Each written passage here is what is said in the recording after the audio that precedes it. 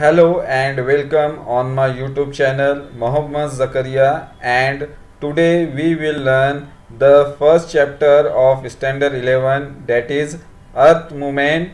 And this is the second lecture of first chapter. So in this lecture we will learn the folding and faulting. So what is mean by folding and faulting? So let's see first folding a fold is a bend in the rock strata. Folding is a type of earth movements resulting from the horizontal compression of rock layers by internal forces of the earth along plate boundaries. so, folding जो है इसमें एक तरह से rock के अंदर जो है बेंड्स क्रिएट होते हैं एक तरह से फोल्ड क्रिएट होते हैं जिसे हम फोल्डिंग या बेंड कहते हैं तो ये उसका रीज़न जो है इंटरनल फोर्सेस जो है अर्थ की वो इसके पीछे वर्क करती है और जो कंप्रेशन होता है क्रिएट रॉक के ऊपर उसकी वजह से रॉक के अंदर फोल्ड्स जो है वो क्रिएट होते हैं। फॉर एग्जांपल इस इमेज में देख सकते हैं आप जिस तरह यहाँ पर पेपर भी दिखाया गया अगर हम पे, पेपर को ले हाथ में और उसको सेम डायरेक्शन में पुश करें हम तो जो बीच का पोर्शन है पेपर का, वो अपवर्ड डायरेक्शन में जो है वो ऊपर चले जाएगा। तो इसी तरह से जो रॉक होती है, उस पर भी सेम डायरेक्शन में जो है वो फोर्सेस जो है वर्क करती है। एरो के ज़रिए दिखाया गया है। सेम डायरेक्शन में जो है फोर्सेस एक ही डायरेक्शन में वर्क करती है मूव होती है। और जो रॉक होती है, उस पर बहुत ज़्यादा कंप्रेशन क्रिएट होता है। और बहुत ज़्यादा कंप्रेशन क्रिएट होने की वजह से इसमें बेंड क्रिएट होते हैं मीन्स फोल्डिंग क्रिएट होती है। अगर हम देखें इमेज में, ये बिफोर फोल्डिंग और आफ्टर फोल्डिंग जब उस पर बहुत ज़्यादा कंप्रेशनल फोर्सेस वर्क करती है तो इस तरह से उसके ऊपर बेंड्स क्रिएट होते हैं और इस तरह से फोल्डिंग उसके ऊपर बन जाती है। तो उसे हम कहते हैं फोल्डिंग जो कंप्रेशनल फोर्स की वजह से रॉक सरफेस के ऊपर क्रिएट होती है। तो इस तरह से रॉक के ऊपर इस तरह से हमें फोल्ड्स जो है वो, हम देख सकते हैं किस तरह से रॉक जो है वो, दोनों तरफ़ से ये जो रॉक है, एक डायरेक्शन में इन्होंने वर्क किया था और जो सेंटर पार्ट था रॉक का, उसके ऊपर जो है फिर फोल्ड इस तरह से क्रिएट हुए हैं। Folding the nature of folding that occurs on the earth surface depends on many factors this includes the nature of rock, intensity and duration of force. तो जो फोल्डिंग जो है वर्क करती है सरफेस के ऊपर तो फोल्डिंग को क्रिएट करने के लिए भी जो कंप्रेशन फोर्स होती है तो फोल्ड क्रिएट करने के लिए भी बहुत सारे फैक्टर्स जो है वो उसके लिए वर्क करते हैं. For example the nature of rock means जितनी रॉक जो है, अगर सॉफ्ट एंड इलास्टिक होंगे उतने इजीली उसके ऊपर फोल्ड्स जो है वो क्रिएट होते हैं। देन इंटेंसिटी मींस वो कितनी पावरफुल फोर्स है, जितनी ज़्यादा पावरफुल फोर्स रहेंगी कंप्रेशनल फोर्स का प्रेशर जितना ज़्यादा रहेगा, उतने ज़्यादा उसमें फोल्ड्स जो है रॉक के अंदर क्रिएट होते हैं। देन ड्यूरेशन ऑफ़ फोर्स तो जितनी ज़्यादा देर तक ये फोर्स जो है वो वर्क करेंगे, उस फोर्स ज़्यादा देर तक अगर वर्क होगा वर्क लगेगा फोर्स को वर्क करने के लिए तो फोल्ड्स भी ज़्यादा क्रिएट होते हैं रॉक के ऊपर। तो इस तरह से ये सारे फैक्टर्स है जो फोल्ड्स को बनाने के लिए बहुत ही इंपॉर्टेंट होते हैं रॉक के ऊपर। Soft and elastic rocks are affected more by these forces तो जो रॉक जो होती है सॉफ्ट और इलास्टिक होती है, वो बहुत ज़्यादा अफेक्ट होती है इन फोर्सेस की वजह से। When energy waves move through the layers of rock on a large scale, folds are formed. तो जब बहुत ज़्यादा एनर्जी वेव्स जो है वो पास होती है रॉक के अंदर से तो उसकी वजह से लार्ज स्केल पर फोल्ड्स जो है वो फॉर्म होते हैं और folding result into formation of fold mountains तो जब फोल्डिंग क्रिएट होती है तो फोल्डिंग की वजह से क्या क्रिएट होता है फिर?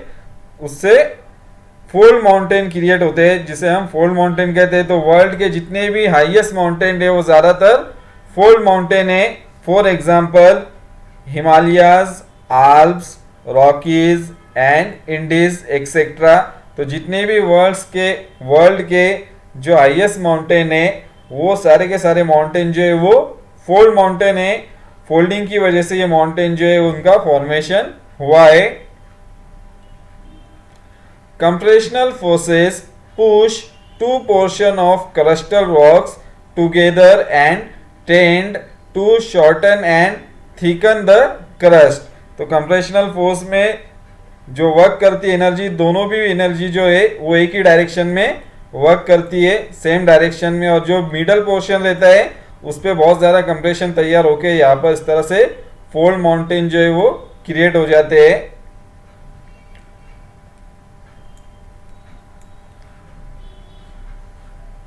The affected the affected rocks react to compressional forces depending on the strength of the rocks and the speed of the forces तो जो भी अफेक्टेड रॉक होती है कंप्रेशनल फोर्स की वजह से उन पर बहुत ज़्यादा अफेक्ट होता है और जो रॉक की स्ट्रेंथ होती है तो उसकी वजह से भी रॉक पे फोल्ड्स जो है वो क्रिएट होता है अगर बहुत ज़्यादा हार्ड रॉक है तो हार्ड रॉक पर हार्ड रॉक के ऊपर फोल्ड जो है वो जल्दी क्रिएट नहीं हो पाते, वो ब्रेक हो जाती है। फोल्ड क्रिएट होने के बजाय और जो सॉफ्ट रॉक होती है, उस पर इजीली जो है फोल्ड्स क्रिएट होते हैं। Folding occurs when compressional forces are applied to rocks that are ductile or flexible. तो फोल्डिंग कहाँ पर अप्लाई होती है? कंप्रेशनल फोर्सेस जो रॉक डक्टाइल और फ्लेक्सिबल होती है तो ऐसे ही रॉक के ऊपर फोल्ड्स जो है वो क्रिएट होते हैं, बेंड्स एंड फोल्ड उसके ऊपर इजीली क्रिएट होते हैं डक्टाइल एंड फ्लेक्सिबल रॉक के ऊपर rocks that lie deep within the crust and are therefore under high pressure are generally ductile and particularly susceptible to folding without breaking तो जो rock जो है, बहुत ज़्यादा डीप में होती है और जिनके ऊपर बहुत ज़्यादा प्रेशर होता है ऊपर से तो वो ऐसी रॉक जो है, बहुत ज़्यादा डक्टाइल और सबसेप्टिबल होती है फोल्डिंग के लिए, जो इजीली फोल्ड हो जाती है ब्रेक होने की बजाय। मतलब वो ब्रेक नहीं होती है फ्लेक्सिबल होने की वजह से और इजीली फोल्ड हो जाती है उस, वो rock as a result rocks deep within the crust typically fold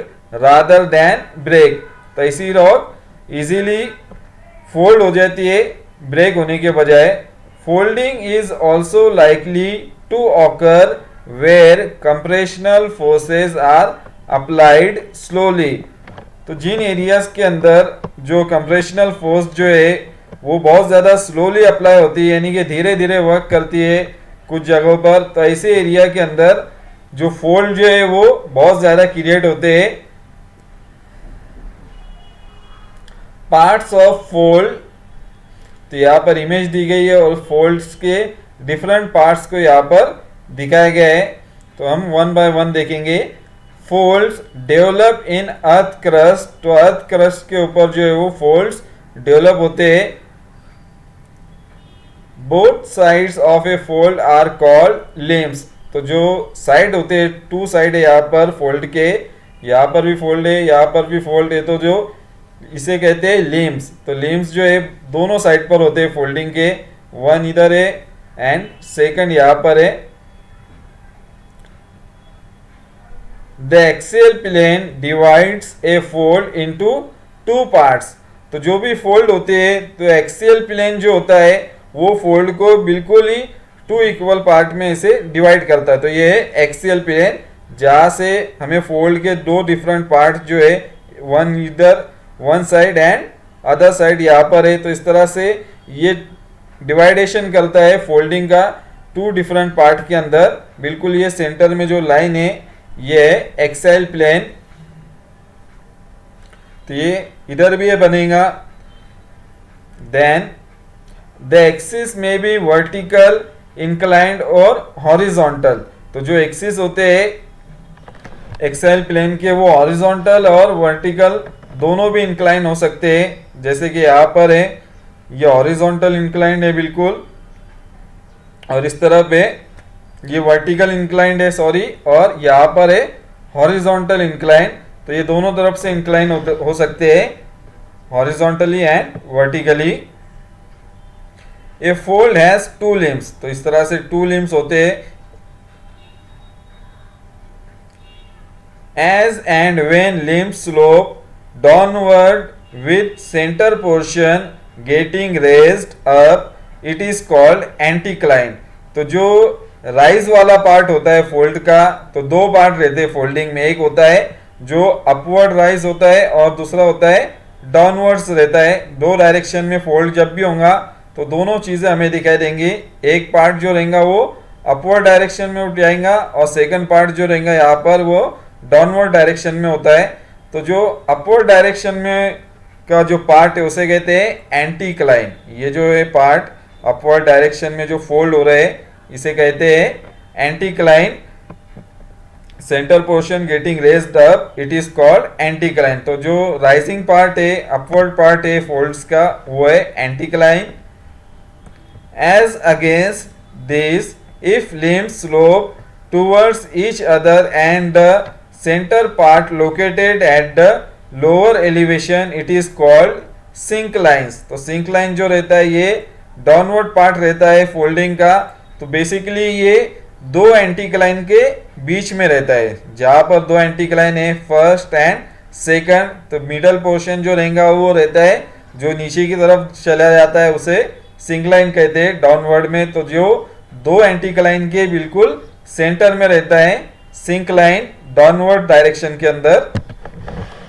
तो ये सब है पार्ट्स ऑफ़ फोल्ड। इसको हम फिर से एक बार इमेज में देख सकते हैं। तो layers of rock of continental crust bent in up folds called anticlines and down fold called syncline. तो जो अप फोल्ड है, जिनकी फोल्डिंग अपवर्ड डायरेक्शन में हुई है, ये है एंटीक्लाइन ये पूरा एंटायर एरिया जो है अपवर्ड डायरेक्शन का, ये एंटीक्लाइन है और जो डाउनवर्ड डायरेक्शन का है पार्ट वो है सिंक लाइन नीचे दिखाए गए syncline two side of fold are called limbs the down fold are term syncline syncline forms valley तो जो सिंक लाइन जब क्रिएट होती है फोल्डिंग की वजह से तो उससे ज़्यादातर वैलीज जो है वो फॉर्म होती है। वैलीज क्रिएट होती है इसकी वजह से सिंक लाइन की वजह से।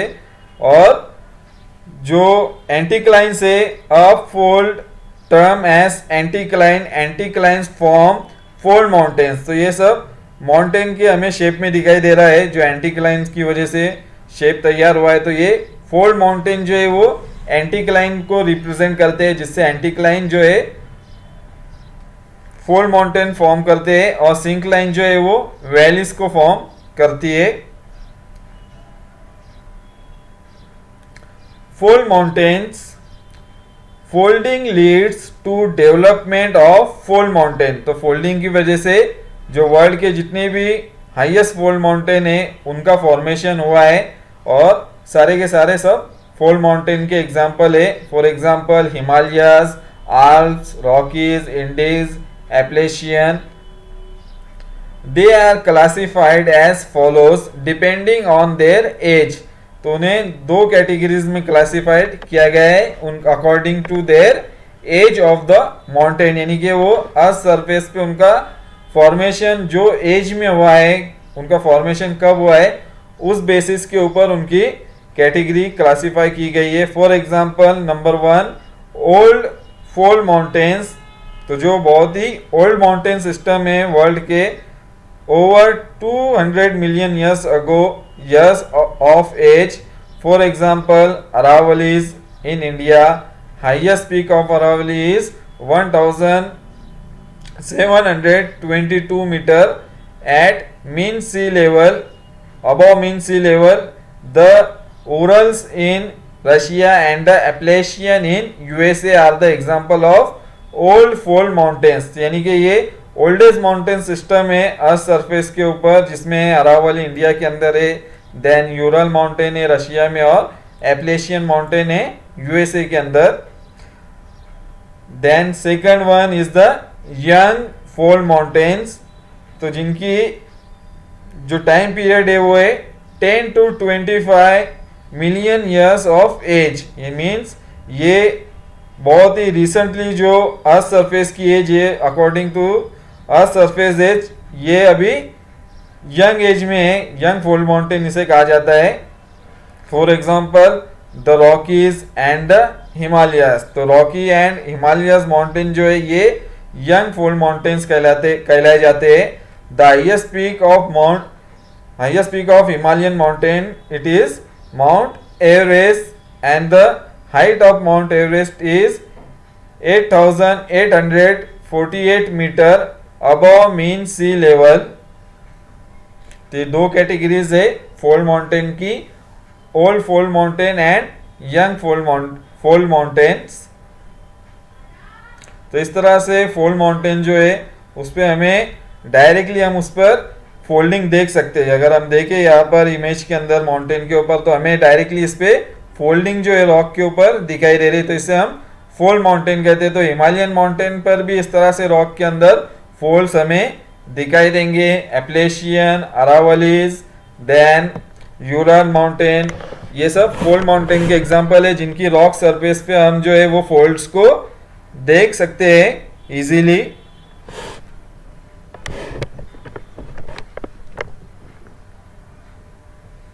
टाइप्स ऑफ़ फोल्ड तो टाइप्स ऑफ़ फोल्ड के लिए यहाँ पर एक पहले एक्टिविटी दी गई है। तो हम इस एक्टिविटी को भी सॉल्व करेंगे और ये इमेज और यहाँ पर उनकी इंफॉर्मेशन दी गई है, उसे भी हमें सीक्वेंस वाइज जो है यहाँ पर उसकी एक्सप्लेनेशन को सामने यहाँ पर मेंशन करना है। Observe the following diagram in figure 1.5 try to understand the different types of fold shown in the diagram and match it with its characteristics, write the name of the fold in the space given below. तो यहाँ पर हमें name भी लिखना है। कौन से यहाँ पर ये किस इंफॉर्मेशन से मैच कर रहा है, वो हमें यहाँ पर नेम जो है मेंशन करना है और मैच करना है राइट इंफॉर्मेशन के सामने इमेज के। तो वन बाय वन देखेंगे हम यहाँ पर। सो so फ़र्स्ट है, ये बिल्कुल प्लेन अर्थ सरफेस है प्रायर टू फोल्डिंग यानी कि ये बिफोर फोल्डिंग वाली इमेज है सरफेस की, और अब हम देखेंगे फोल्डिंग के बाद किस तरह से फोल्ड्स जो है वो अलग अलग तरीके से फॉर्म हो सकते हैं सरफेस पे। सो नंबर वन है ये इमेज का, जो नेम है वो है सिमेट्रिकल फोल्ड इसे कहेंगे हम। जो टाइप है फोल्डिंग की वो है सिमेट्रिकल फोल्ड यहाँ पर आप ना नेम मेंशन कर सकते हैं। तो इसकी जो इंफॉर्मेशन है number one the axial plane is vertical तो यहाँ पर अगर हम देखें, जो एक्सियल प्लेन है, अगर हम लाइन ड्रॉ करें तो बिल्कुल यहाँ पर ये मिडल में आएगा एक्सियल प्लेन इनका, बिल्कुल वर्टिकल डायरेक्शन में है। Limbs are inclined at the same angle तो जो लिम्स है, दोनों भी फोल्ड के यहाँ पर बिल्कुल सेम एंगल में वो इंक्लाइन है। इसलिए इसे सिमेट्रिकल फोल्ड कहा जाता है।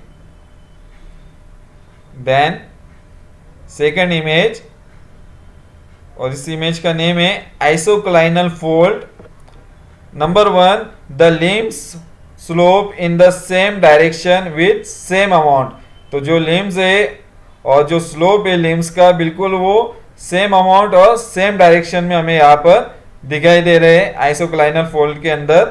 The axial plane may be vertical incline और हॉरिजॉन्टल तो एक्सियल प्लेन जो है, आइसोक्लाइनल के अंदर, वो बिल्कुल वर्टिकल भी हो सकता है। यहाँ पर अगर हम इस इमेज में देखिए तो बिल्कुल ये तीनों फोल्ड्स के अंदर बिल्कुल वर्टिकली इंक्लाइन है यहाँ पर।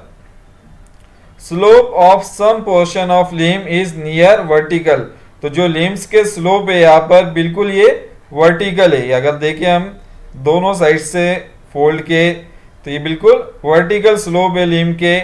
फोल्ड्स के तीनों भी इसमें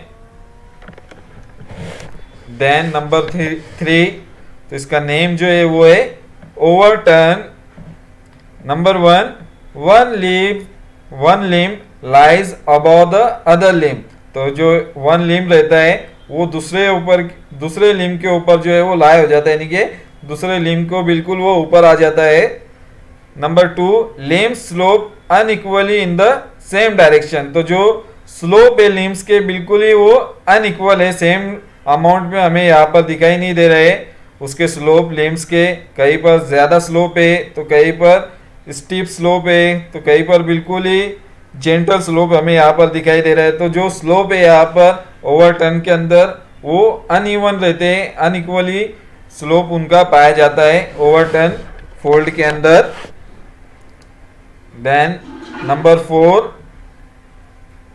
तो नंबर फोर का जो नेम है वो है recumbent number one axial plane is almost horizontal तो रिकमेंड के अंदर जो एक्सेल प्लेन रहता है, जो लिम का अगर देखें लिम जो है पूरा अर्थ सरफेस के बिल्कुल वो हॉरिजॉन्टल आ गया है तो बिल्कुल उसका अगर हम निकालेंगे एक्सेल प्लेन तो इस तरह से वो एक्सेल प्लेन बिल्कुल हॉरिजॉन्टल डायरेक्शन में रहेगा।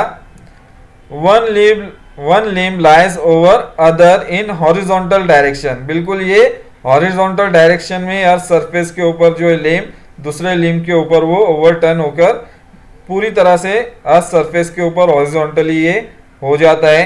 तो यहाँ पर दो लिम्स होते हैं और एक के ऊपर एक जो लिम्ब है वो दोनों भी आ जाते हैं। से रिकम्बेंट कहा जाता है। Number five so number five that is asymmetrical fold number one the axial plane is inclined तो इसके अंदर जो एक्सेल प्लेन रहते हैं वो इंक्लाइन रहते हैं एक दूसरे से. Number two the limbs are inclined at different angles तो अगर हम लिम्स के एंगल देखें यहाँ पर तो एक एंगल में दिखाई नहीं दे रहे बिल्कुल ये इस तरह से लिम जो है वो फॉर्म हो रहे हैं. एक डायरेक्शन में लिम जो नहीं है, फिर भी वो इंक्लाइन है बट डिफरेंट एंगल में वो इंक्लाइन होते हैं. तो उसे कहा जाता है असिमेट्रिकल फोल्ड्स तो ये सब है types of fold then the second important point that is faulting In the earth crust, the forces operating in opposite direction leads to tension. तो अर्थ क्रस्ट के ऊपर जो फोर्सेस वर्क करती है तो ये फोर्सेस जब एक दूसरे के अपोजिट डायरेक्शन में वर्क करती है, दोनों भी डिफरेंट वे के अंदर जो है वो वर्क करती है तो टेंशन क्रिएट होता है और जिसकी वजह से टेंशन की वजह से as a result rock develop crack और फिशर तो इस तरह से अगर हम पेपर ले और उसे डिफरेंट डायरेक्शन में उसके अपोजिट डायरेक्शन पे उस पर हम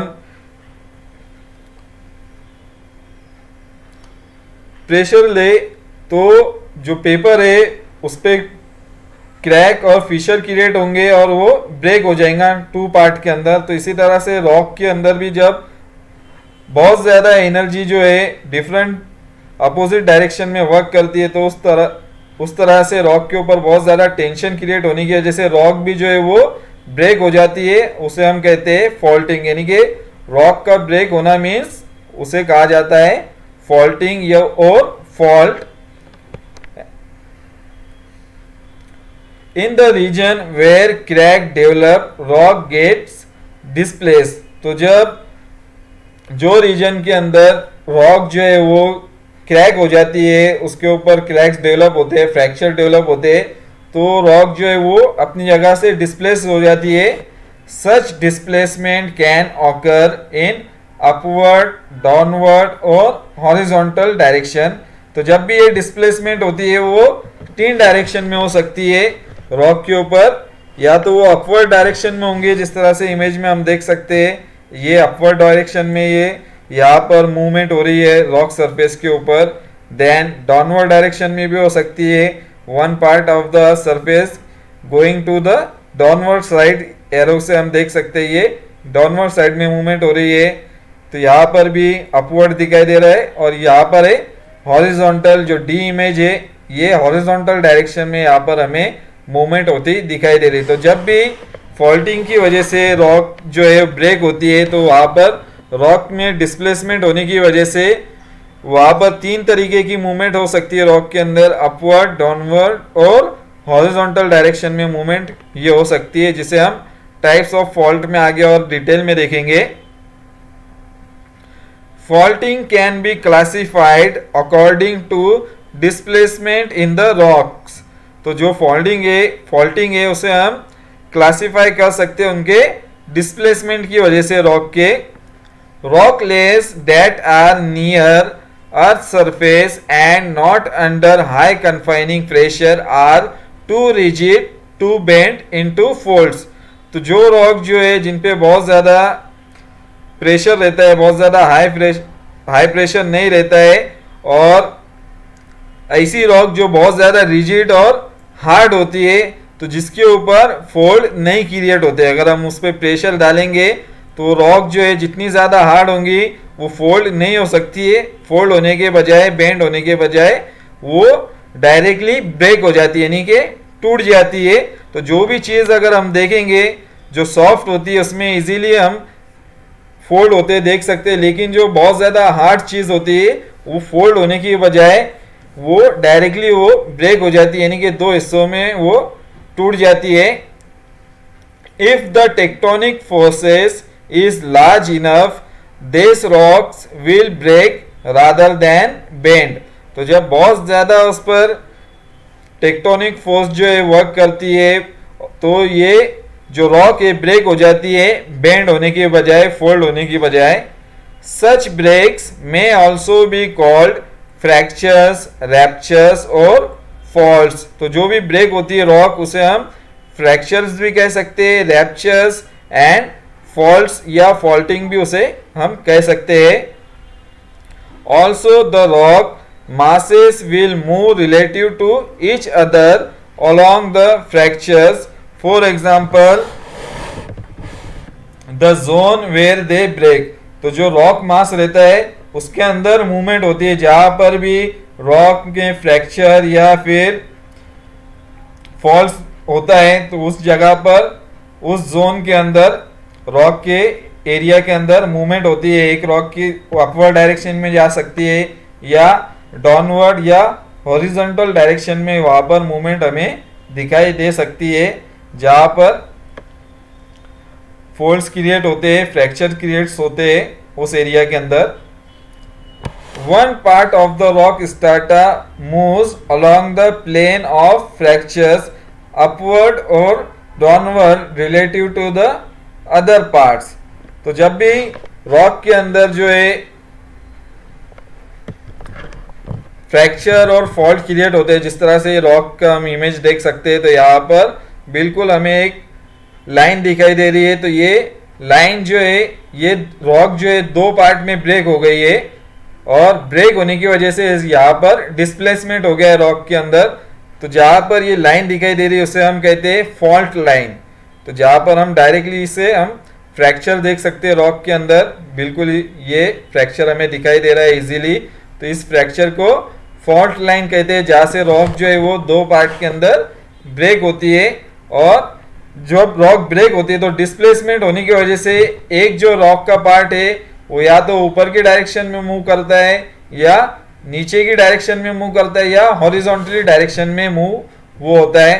तो अगर हम इमेज को गौर से देखें तो एक पार्ट जो है वो ब्रेक होने के बाद एक पार्ट अपनी जगह पर ही है, और एक पार्ट जो है वो डाउनवर्ड डायरेक्शन में मूव हो गया है। तो ये पार्ट जो है अपनी जगह पर ही है। अगर हम देखें यहाँ पर, ये ब्राउनिश डिग्री रॉक देन यहाँ पर व्हाइट स्ट्रिप है। तो ये बिल्कुल एक रॉक का हिस्सा थे, पहले दोनों एक साथ थे, लेकिन ये जो पार्ट है रॉक का, ये डिस्प्लेसमेंट होने के बाद ये नीचे की तरफ़ मूव हो गया। तो यहाँ पर अगर हम व्हाइट लाइन देखें तो ये दोनों एक साथ थे पहले, लेकिन ये अभी व्हाइट यहाँ पर नीचे की तरफ़ चला गया है, नीचे की तरफ़ मूव हो गया रॉक का हिस्सा। तो इस तरह से हमें डिस्प्लेसमेंट इजीली हमें रॉक पर दिखाई देती है। तो इसे कहते हैं फॉल्ट प्लेन या फॉल्ट लाइन भी इसे इस एरिया को कहा जाता है जहाँ से रॉक ब्रेक होती है। तो एक जो पार्ट है जो अपनी जगह पर ही रहता है ब्रेक होने के बाद, उसे कहा जाता है फुट वॉल फुट वॉल जो अपनी जगह पर ही रहती है और जो रॉक मूव होती है, चाहे वो अपवर्ड डायरेक्शन में मूव हो या डाउनवर्ड डायरेक्शन में मूव हो, उसे हैंगिंग वॉल कहते हैं। फॉल्टिंग के अंदर the plane of fracture is called fault तो जहाँ पर जिस एरिया के अंदर फ्रैक्चर क्रिएट हुआ है, उसे क्या कहते हैं? फॉल्ट कहते हैं। और जो लाइन होती है, उसे फॉल्ट लाइन कहा जाता है। Faulting results in the formation of block mountains and rift valleys तो फॉल्टिंग की वजह से अर्थ सरफेस के ऊपर ब्लॉक माउंटेन्स फॉर्म होते हैं और रिफ्ट वैलीज जो है, उनका फॉर्मेशन अर्थ सरफेस के ऊपर होता है। जिन एरियाज़ के अंदर फॉल्टिंग होती है। तो टाइप्स ऑफ़ फॉल्ट तो अलग अलग टाइप्स की मूवमेंट होती है। उसके अकॉर्डिंग ही टाइप्स किए गए उसका क्लासिफिकेशन किया गया है फॉल्टिंग का। According to their movement of rock तो इसमें एक एक्टिविटी दी गई है। Try this observe the diagrams in figure 1.6 and read the explanation regarding the characteristics of various fault given below identify the faults and match each of them with their characteristics.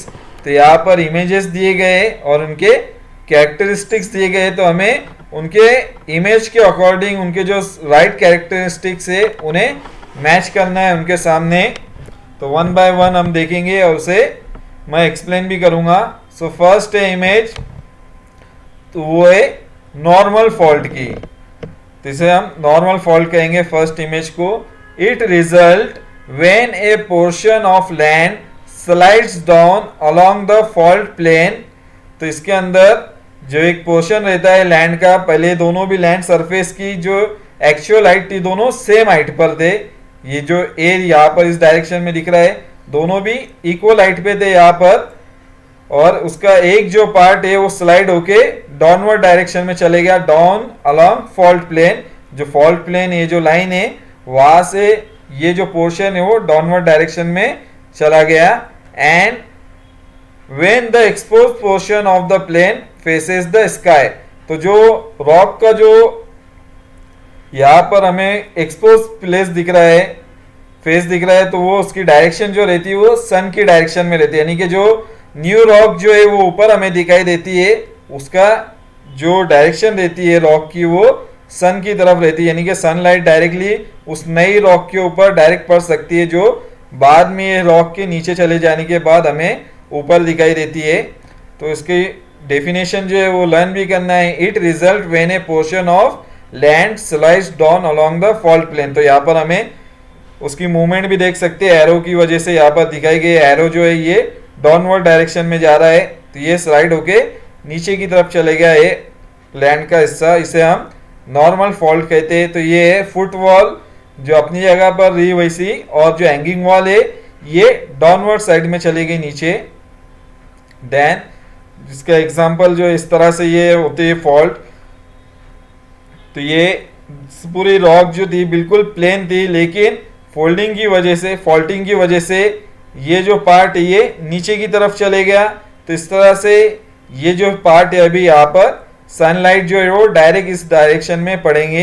तो जो face जो उसका fault line का, वो बिल्कुल ही expose rock का, वो सन की डायरेक्शन में होता है।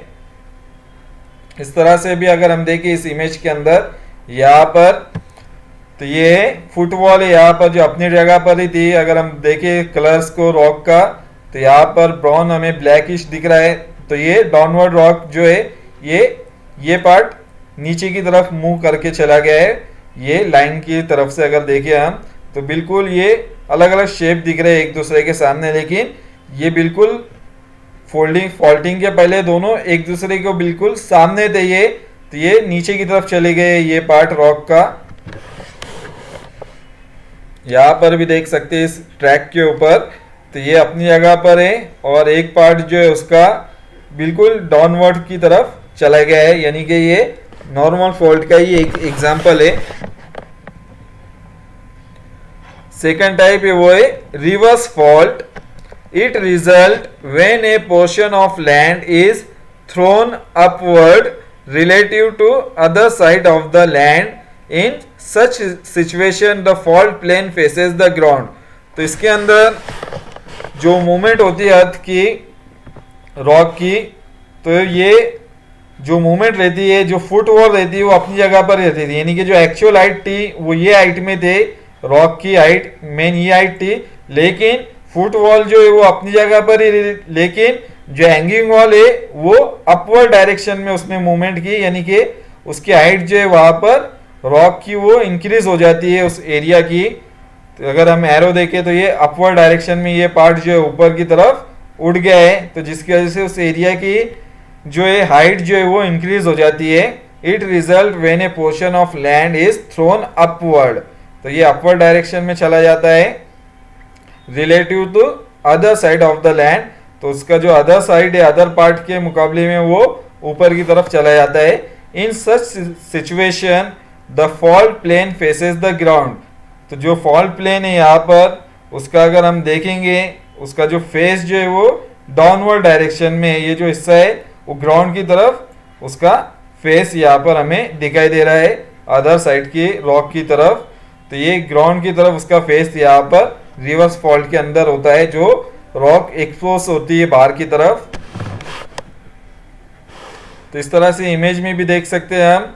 तो किस तरह से ये जो है, ये फुटवॉल है और ये हैंगिंग वॉल जो ऊपर की तरफ़ उड़ गई है और ये अपनी जगह एज इट इज़ मौजूद है। यानी कि ये जो लाइन थी, ये रॉक बिल्कुल इस जगह पर थी, लेकिन अभी ये ऊपर की तरफ़ चली गई है। इसी तरह से यहाँ पर भी देख सकते हैं हम।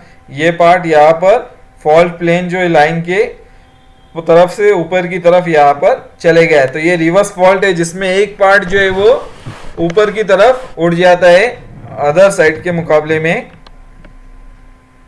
यहाँ पर भी देख सकते हैं, ये फुटवॉल और ये हैंगिंग वॉल जो अपवर्ड डायरेक्शन में इसने मूवमेंट की है।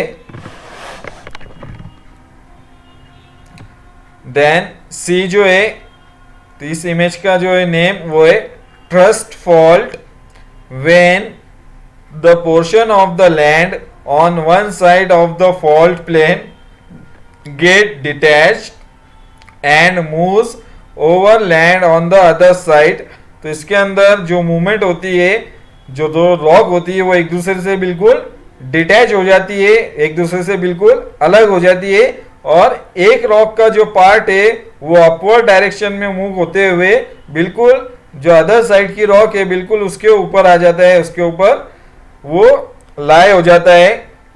तो इस तरह से इसे हम कहते हैं thrust fault when the portion of the land on one side of the fault plane gets detach and moves over land on the other side तो अदर साइड के लैंड के ऊपर ये बिल्कुल मूवमेंट होके ऊपर वो अदर लैंड के ऊपर आ जाता है। The angle of the fault plane is generally low, less than 45 degree तो जो एंगल होता है फॉल्ट प्लेन का वो बहुत ही लो रहता है 45 डिग्री से भी कम ये एंगल उसका फॉल्ट प्लेन का होता है और एक पोर्शन दूसरे पोर्शन के रॉक के ऊपर वो आ जाता है मूव होते हुए then the tear fault At times, the rock strata on either side of the fault plane do not have vertical displacement. तो इसके अंदर वर्टिकल डिस्प्लेसमेंट नहीं होता है रॉक का, बल्कि इसके अंदर हॉरिजॉन्टल मूवमेंट होती है वर्टिकल के बजाय instead movement occurs along the plane in horizontal direction में। इसके अंदर ना तो कोई पार्ट ऊपर की तरफ़ मूव होता है, ना तो नीचे की तरफ़ डाउनवर्ड साइड में मूव होता है। ये वर्टिकली मूवमेंट होती है। एक पार्ट इस तरफ़ मूव हो रहा है और अदर पार्ट दूसरी डायरेक्शन में मूव होता है। तो ये वर्टिकली मूवमेंट होती है। एक दूसरे को बस जस्ट वो स्लाइड करते हैं और इसे हम कहते हैं हॉरिजॉन्टल मूवमेंट। तो उसके अगर हम एग्ज़ाम्पल देखें, इस तरह से ये मूवमेंट होती है। हाइट उतनी रहती है लैंड सरफेस की, जस्ट वो हॉरिजॉन्टल मूवमेंट होती है। यानी कि ये लाइन जो है बिल्कुल स्ट्रेट है लेकिन फॉल्टिंग होने के बाद ये लाइन जो है एक दूसरे से बिल्कुल मिसमैच हो गई। यानी कि एक पार्ट अपनी जगह पर रहा और दूसरा पार्ट जो है वो आगे की तरफ़ जो है वो मुँह के चला गया। तो ये टीयर फॉल्ट, जिसमें हॉरिजॉन्टल मूवमेंट की वजह से अर्थ के ऊपर चेंजेस आते हैं। जिस तरह से हम ये फ़ील्ड में देख सकते हैं एग्रीकल्चरल फ़ील्ड के अंदर, उसी तरह से रोडवेज़ को भी देख सकते हैं। बिल्कुल ये स्ट्रेट रोड था, लेकिन जो टीयर फॉल्ट की वजह से हॉरिजॉन्टल मूवमेंट हुई है सरफेस की, और हॉरिजॉन्टल मूवमेंट की वजह से ये जो रोड है, इस ये बिल्कुल एक दूसरे से अलग अलग डायरेक्शन में चले गए। उसी तरह से अगर हम कंपाउंड वॉल देखें यहाँ पर तो ये कंपाउंड वॉल दोनों सेम थे यहाँ पर, लेकिन एक पार्ट जो है वो आगे की तरफ़ वर्टिकली मूवमेंट होके आगे की तरफ़ जो एक हिस्सा वो चला गया। तो इसे हम कहते हैं टीयर फॉल्ट उसके बाद फॉल्टिंग की वजह से जो लैंड फॉर्म क्रिएट होते हैं सरफेस के ऊपर, उनमें दो मेन लैंड फॉर्म एक है ब्लॉक माउंटेन और दूसरा है रिफ्ट वैली रिफ्ट वैली तो सबसे पहले हम देखेंगे ब्लॉक माउंटेन जो फॉल्टिंग की वजह से क्रिएट होते हैं।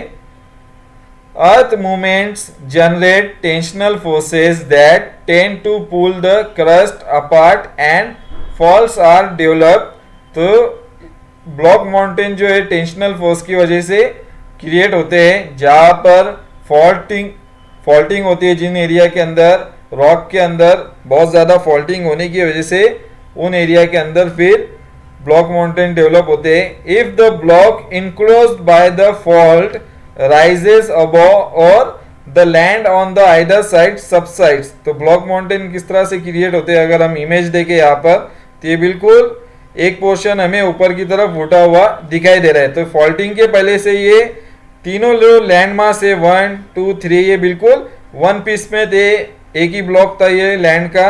अगर हम रॉक को देखें उनके लेयर्स तो बिल्कुल एक दूसरे के साथ वो मैच हो जाएँगे। तो ये बिल्कुल सेम इक्वल हाइट पे थे यहाँ पर लैंड जो था।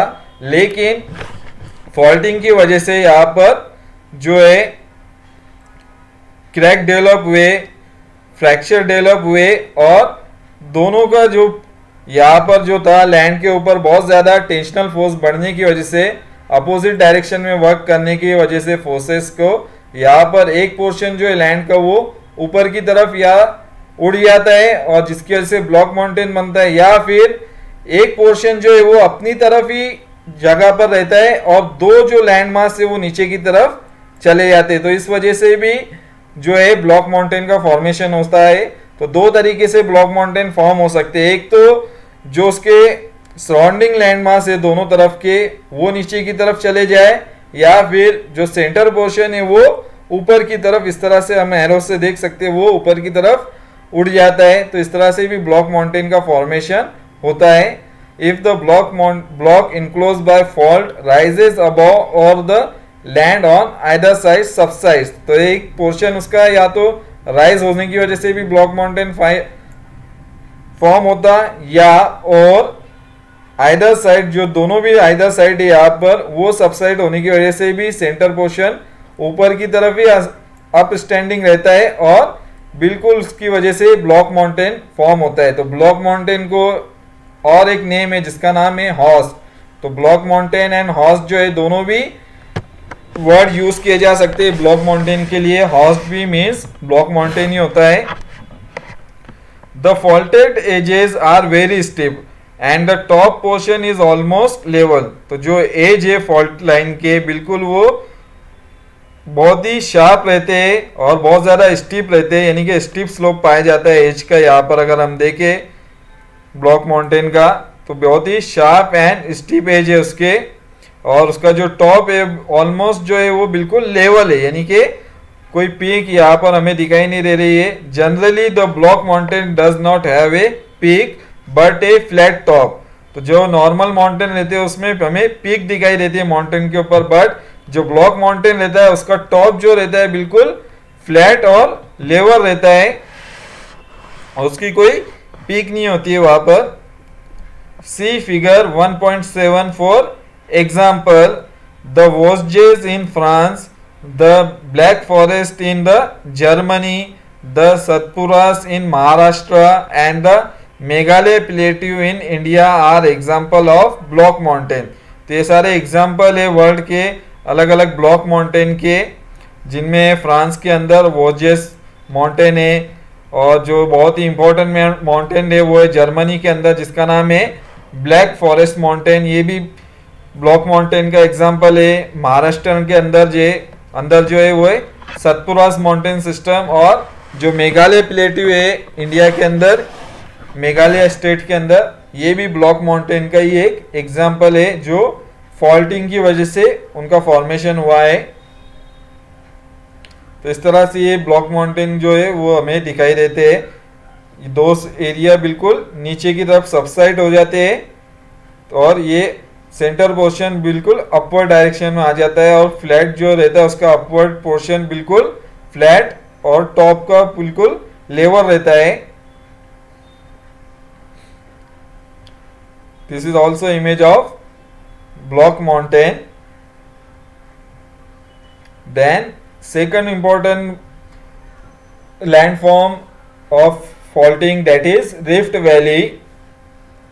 So, what is rift valley? The tension may also cause subsidence in the central portion of the crust between two adjacent fault forming graben और रिफ्ट वैली तो इसके अंदर रिफ्ट वैली क्रिएट होती है जब टेंशनल फोर्सेस जो रहते हैं, जब वर्क करती है यहाँ पर तो जो सेंट्रल पोर्शन रहता है कभी कभी रॉक का वो नीचे की तरफ़ सबसाइड हो जाता है, यानी कि उसका सब्सिस्टेंस सब्सिडेंस हो जाता है। बिल्कुल ये एक लेवल पे थे पहले रॉक लेकिन फॉल्टिंग होने की वजह से रॉक जो में दो फॉल्ट लाइन तैयार हुई यहाँ पर।